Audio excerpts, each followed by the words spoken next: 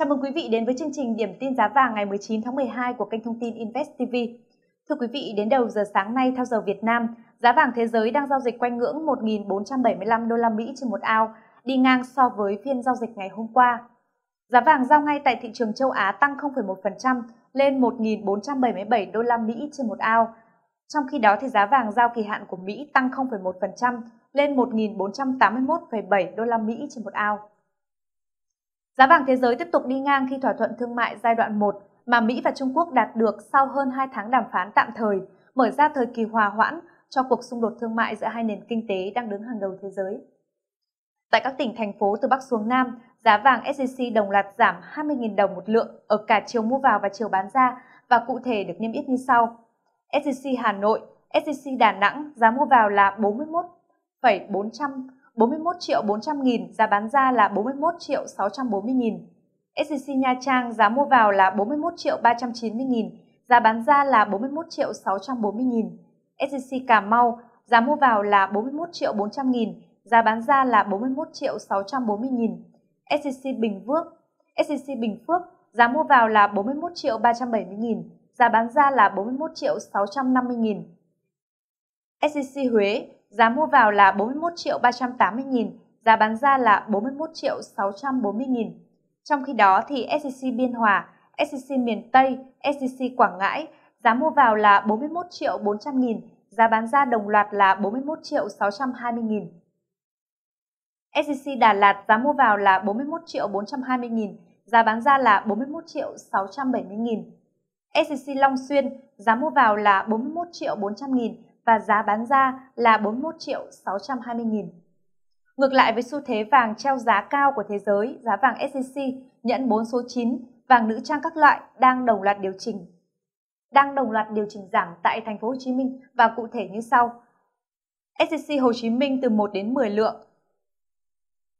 Giá mua vào là 41 triệu 400 nghìn, giá bán ra là 41 triệu 620 nghìn. Nhẫn 4 số 9 từ 1 chỉ đến 5 chỉ Giá mua vào là 41 triệu 400 nghìn, giá bán ra là 41 triệu 820 nghìn.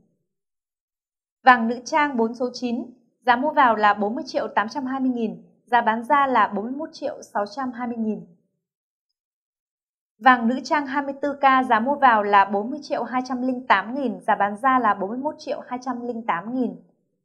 Vàng nữ trang 18K giá mua vào là 29 triệu 968 nghìn, giá bán ra là 31 triệu 368 nghìn.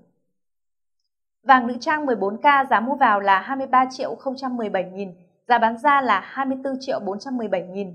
Vàng nữ trang 10K giá mua vào là 16 triệu 107 nghìn, giá bán ra là 17 nghìn 507. Giá mua vào là 17 triệu 507 nghìn.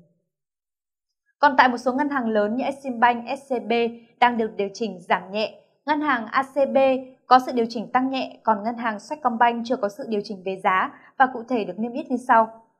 Eximbank giá mua vào là 41 triệu 430 nghìn, giá bán ra là 41 triệu 580 nghìn. Ngân hàng ACB giá mua vào là 41 triệu 420 nghìn, giá bán ra là 41 triệu 570 nghìn. Ngân hàng Sacombank giá mua vào là 41 triệu 390 nghìn, giá bán ra là 41 triệu 670 nghìn.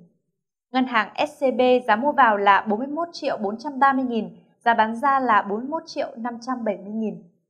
Tại các tổ chức lớn, giá vàng đầu giờ sáng nay cũng có sự biến động trái chiều. Có tổ chức tăng giá, có tổ chức thì giảm giá, có tổ chức thì chưa điều chỉnh về giá để chờ những tín hiệu khả quan từ thị trường vàng thế giới và cụ thể được niêm yết như sau. Doji Hồ Chí Minh Giá mua vào là 41 triệu 460 nghìn, giá bán ra là 41 triệu 590 nghìn. Doji Hà Nội, giá mua vào là 41 triệu 440 nghìn, giá bán ra là 41 triệu 570 nghìn. PNG Hồ Chí Minh và PNG Hà Nội đều có mức giá mua vào là 41 triệu 420 nghìn, giá bán ra là 41 triệu 650 nghìn. Phú Quý SCC giá mua vào là 41 triệu 420 nghìn, giá bán ra là 41 triệu 560 nghìn. Bảo Tín Minh Châu giá mua vào là 41 triệu 440 nghìn, giá bán ra là 41 triệu 570 nghìn. Các tổ chức lớn các tổ chức lớn như Mi Hồng giá mua vào là 41 triệu 470 nghìn, giá bán ra là 41 triệu 620 nghìn. Thưa quý vị, những thông tin về giá vàng trong nước cũng đã khép lại chương trình điểm tin giá vàng ngày hôm nay của chúng tôi. Nếu quý vị có thông tin cần chúng tôi tư vấn, xin liên hệ theo số hotline của chương trình là 08 2346 5555 hoặc địa chỉ email ban biên tập a.invest.com.vn. Còn bây giờ, xin kính chào và hẹn gặp lại quý vị trong chương trình này ngày mai.